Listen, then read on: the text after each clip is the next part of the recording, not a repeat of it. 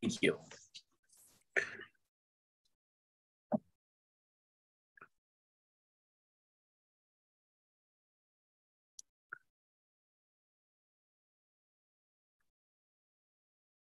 All right, I think we're good to go. Do you want me to uh, kick it off, Commissioner?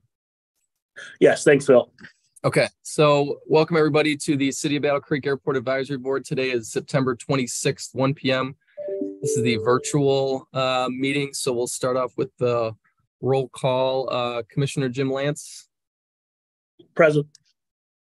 Amy Marciano Ratliff, Present. Kara Beer, Present.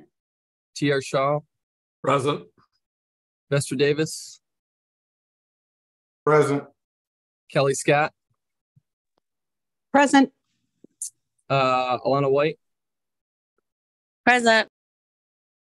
And I have uh Joe Soborowski, Ted Deering, uh, and Dan Kramer uh, have responded to me as not being available today. Great. Well, thanks, thanks Phil for running through the, the roll call. Uh, I think you have the agenda up. Um, let's look, uh, has everybody had a chance to review and approve the agenda? I- I'm I'm assuming yes. Um,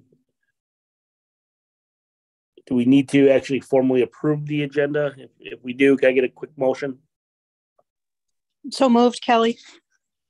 Thanks, Kelly. Do we have a second? Second, Kara. Any discussion on the agenda? Hearing none. All those in favor of, of approving the agenda, say aye. Aye. Aye. Any opposed? Okay, the agenda uh, is, is approved. Next line item is the uh, meeting minutes from the June twentieth, twenty-three uh, advisory meeting. Uh, If I get a motion as well. So moved. Vester. Thanks, Lester. Support- Support, Kelly. Thanks, Kelly. It's been moved and supported to approve the uh, June 20, 23 regular meeting minutes. Any discussion? All those in favor of, of approval, say aye. Aye. Aye.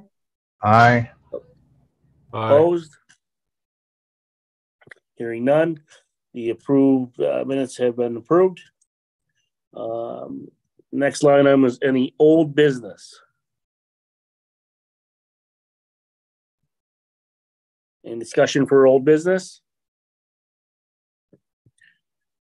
Doesn't sound like Eddie, so we'll move to new business. Um, Phil, city staff? Awesome. Thank you, Commissioner Lance. Uh, thanks for joining everybody.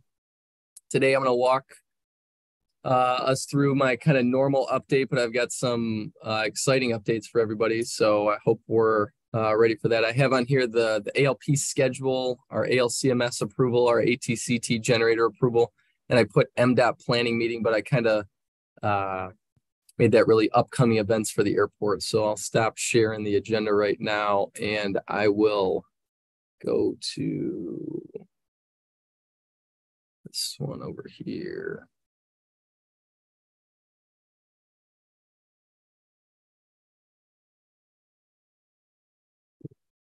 Sure. Can everybody see my screen? Yes, I see you. You see me? Do you see the airport? Do you still see the PowerPoint or do you see the presentation? No, we just see you. Okay, just me. Let me see here. I will go to this one, sorry. All right. Looks like that's working better. How's that now? Yes. Yes. Okay. Perfect. Sorry about that.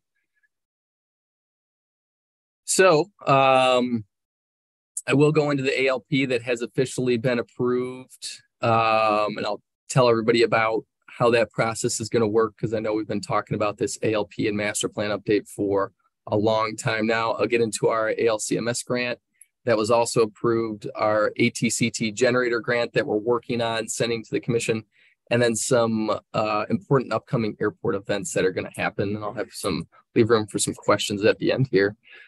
So yes, the ALP or the airport airport layout plan is officially um, underway. It's officially begun. What does that mean, and how does that affect the airport and the city and the region? So really, the first part of this process is having um, some initial tasks and some meetings just set up. We're we're really truly having a kind of a kickoff meeting with Mead and Hunt, who's the lead consultant on this project in October.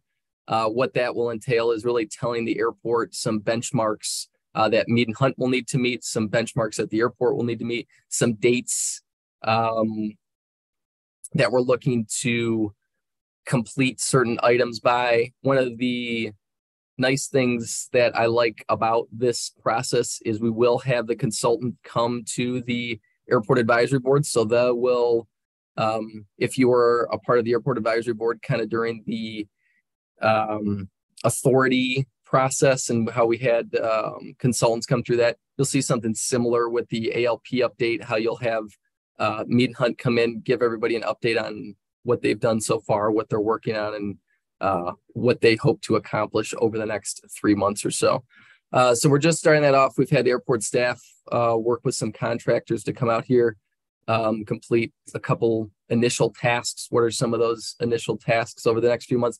LIDAR flights. Um, that's just fancy talk for lasers being uh, projected from an aircraft to go down and measure distances uh, so they can get a look at rooftops, treetops, more importantly. Uh, they really build a 3D model of the airport so that we are aware of obstructions, so that we can build out our proper Part 77 surfaces. So the FAA uh, wants to know what is in your approach path, what's in your departure path, what's in your transitional path, what's in your conical path. So all these different imaginary surfaces that surround the airport. Um, this laser detection coming from these aircraft will give us an exact distance of how high this tree is, how high this building is, and we can map out. And that's all part of one of the requirements for our ALP. Um, you'll see surveys of the actual airport. So we'll take uh, surveys of what is actually here. So buildings, navigational equipment, lights, signs, runways, taxiways, lengths, widths, you name it. Those will all be a part of it. Uh, we will have some planning meetings, like I said, and then we'll do again part of that kind of data gathering um, is really getting an understanding of it's it's a very technical drawing, but every single thing that is inside the fence and at the airport will be listed uh, on this ALP. So there's a lot that goes into this first part of the ALP, and it's just getting underway. So any questions on the ALP or any um, thoughts or um, you know kind of what the airport will be doing or what the city will be doing uh, over these next just couple months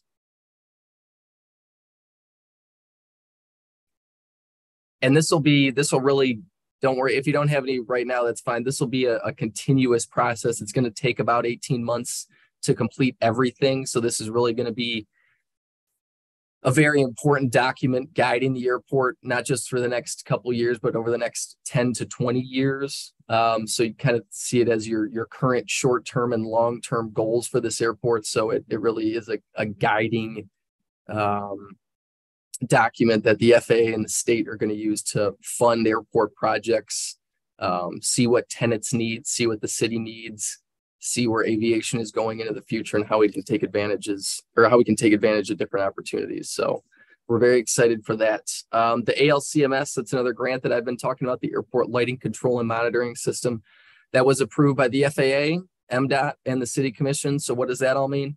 The FAA has to, even though we are awarded the grant, they still have to approve it and sign it.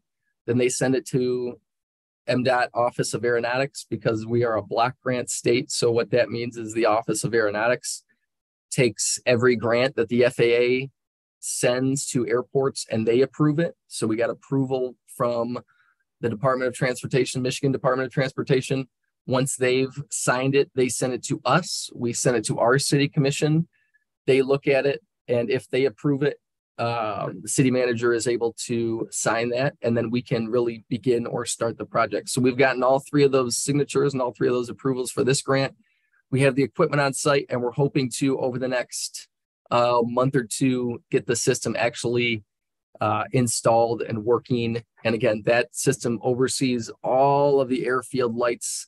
Uh, this isn't our runway, but it gives you a good idea of what a pilot would see from the air. So you've got some approach lights, you've got some edge lights, um, you've got taxiway lights, you've got miles and miles and miles of lights that the system has to monitor and that controllers can actually turn on and off. Um, so it's a very important piece of safety and navigation equipment to pilots, but also uh, our staff here, our operators, when they're out there, if they have to be out there at night or inclement weather, uh, such as snow. Um, these lights obviously help everybody navigate the runways and taxiways. So it's very uh, exciting. So any questions on the ALCMS? We should have that, like I said. Uh, Can you advance your slide, Phil? What'd you say? Can you advance your PowerPoint slide? We only see the first slide. Is that? Oh yeah, sure. I'm sorry about that. I think I was. uh So this is what I was talking about here with our updates. Um, I think you guys are just seeing the second one. It has me in presentation mode, so I'm sorry about that. Um, so that's just kind of a picture of what everybody will see uh, from the air, from a pilot's perspective. Again, it's not our specific runway, but it's a pretty good. It gives a pretty good idea of what pilots can uh, can see in some of the lights that can get worked on from, uh, or what can get monitored by this system. Thanks, Vester. Sorry about that.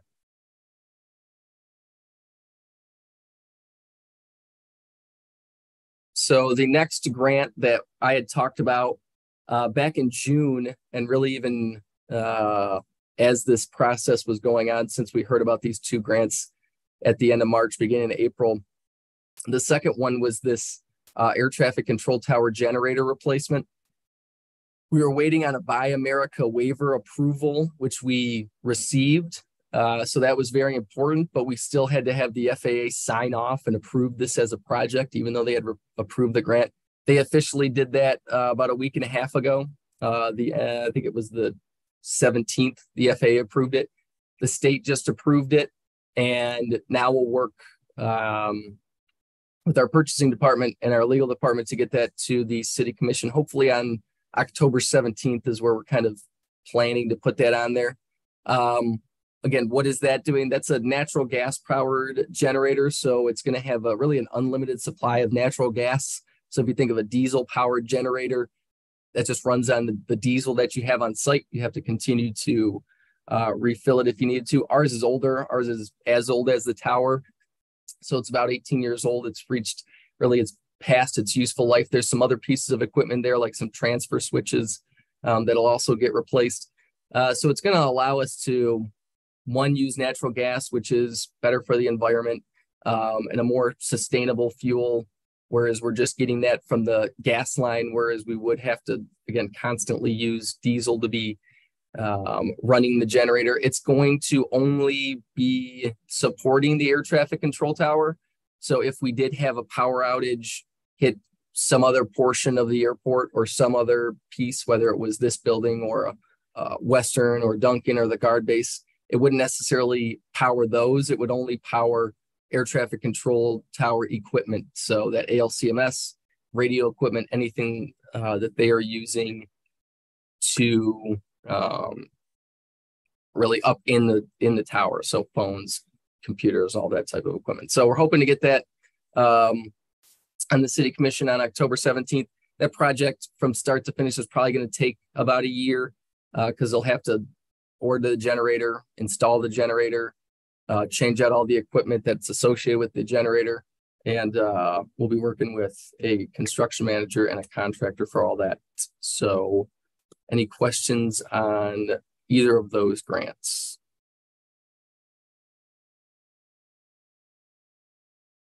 Get into really the last piece, which is our some kind of important upcoming events for the airport. We're going to have a uh, snow and ice control committee meeting coming up on October 25th. And what that is, is a meeting that every airport that experiences snow and or ice. So think of an airport outside of Florida.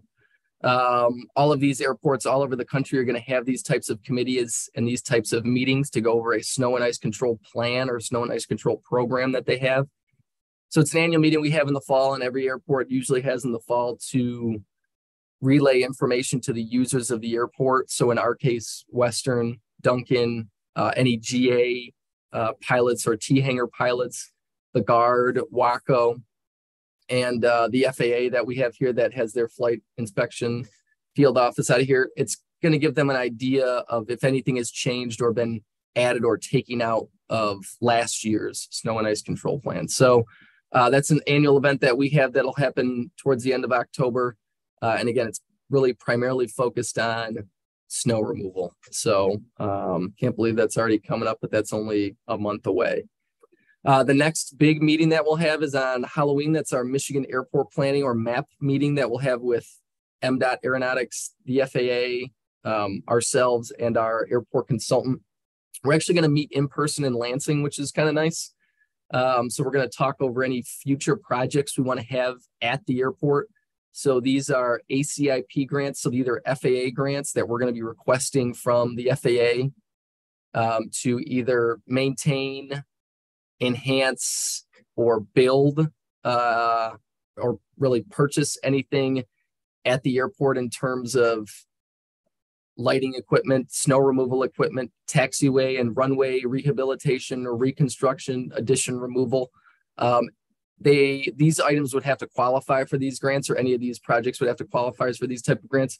Uh, but we're excited for this because it obviously kind of falls in line with our ALP starting up. So we have some ideas of what we'd like to do in the future, but we want to get ahead of some of the um, funding opportunities by getting in line now instead of waiting for 18 months to say, oh yeah, by the way, we now that we've done our ALP, we know we need um, additional snow removal equipment, or we need to work on this taxiway. It needs uh, rehabilitation or reconstruction or crack sealant. Uh, we can actually go to the FAA and the state every year. This is an annual meeting and let them know what we need from a planning and construction perspective. Uh, and then finally, if you happen to be at the November 21st City Commission meeting, I will be giving my staff presentation. So every department uh, director within the city uh, has chosen a month or was voluntold a month. Uh, mine is November.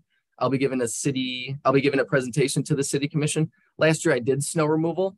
Um, still TBD on what the entire presentation will be. Last year I was told it was a little long by some staff members. I actually got a lot of questions from uh, city commissioners and from other people even in the audience afterwards. So I think people are very interested and excited about the airport, especially with um, you know the possibility of more UAS and more drones and more of that coming to the west side and the possibility of the guard bringing on some equipment in the future. So um, November 21st, that'll be the second commission meeting in November. I will be giving my presentation um, so if any of you folks want to go to that one, I will definitely be at the commission meeting on the 21st. Any questions or comments on any of those events or just the airport in general?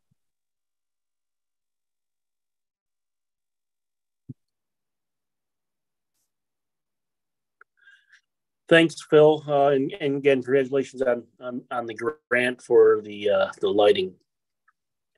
Thank you. And thank you for the Yep. approval. It makes it a lot easier when I bring the grants uh, up there and they get approved. So thank you for that. Yeah, excellent. Um, Centennial Committee is TR here? I believe he is. Yep. Um, hello. Uh, let me see if I can. I got some stuff to share here. If I can, can I share this? Uh, Okay. Yeah, I think so. Yeah. Can you see this? This is basically. I'm just going to go. This is the slideshow we put together for this to go out to the public. I've done a couple of them, but there's one slide in here I just want to put up here to make you aware of. Uh, we are progressing quite well. We're working uh, hard. We got a good group of people. All of you are invited to participate in it as it's coming up, and it's coming up quick. Uh, some of the events coming up. We're working on the book.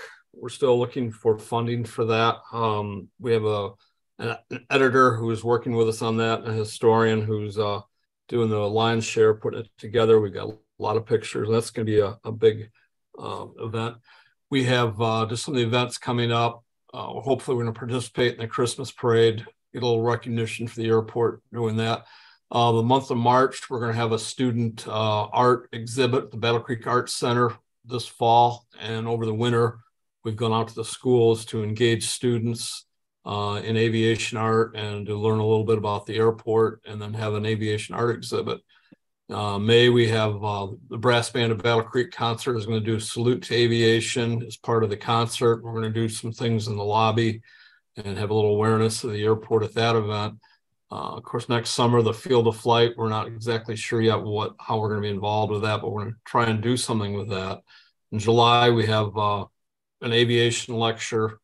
Uh, we're going to hopefully have at the Battle Creek Historical Museum and hopefully put together a history symposium on the history of aviation and uh, bring in a few authors who've written books about aviation. Uh, the big, couple big events, the two main events we're doing in August, we're working on an open house for the airport, and that's still in the works.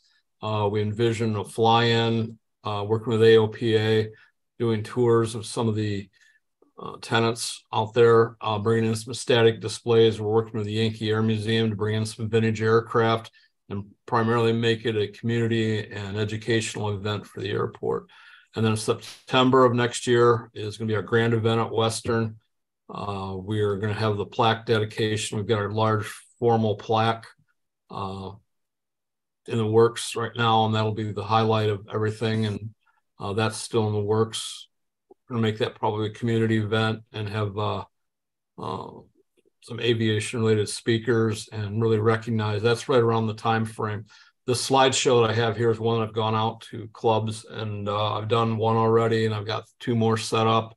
Um, reaching out to uh, local service clubs, community organizations, and just talk about the airport, talk about what we're doing and raise interest in the airport. Uh, one of the other things that we just to show you here real quick, we've uh, set up a Centennial Legacy Fund with the Battle Creek Community Foundation. This is our funding vehicle that we're we're going to go out and raise funds to do some of these events. Um, it's just a scan. You can scan the QR code to go directly to the foundation, make a contribution. Um, this fund is a 501c3, which will help with raising money for this. And at the end of it, when it's all done, this is going to convert over to an aviation scholarship. And that will be a big scholarship fund that we'll have. And basically, those are just uh, some of the slides. Got a lot of information.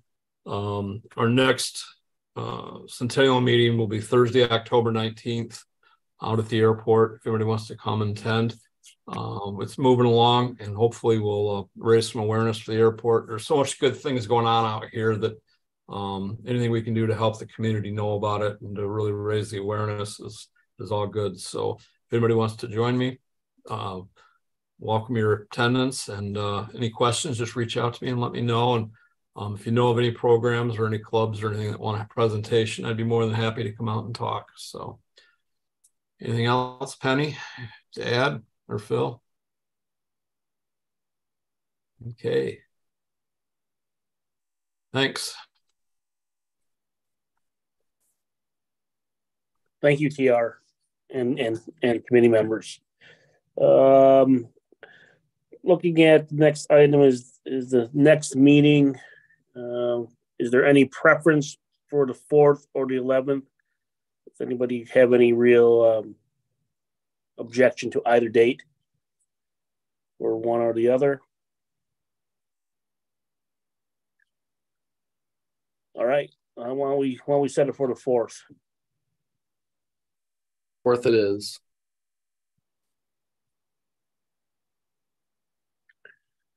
All right. Is there uh, want any public? Do you want it on that? I'm sorry. Sorry, Commissioner. Do you want it on the same day on that Tuesday on the actual? Yep. Okay.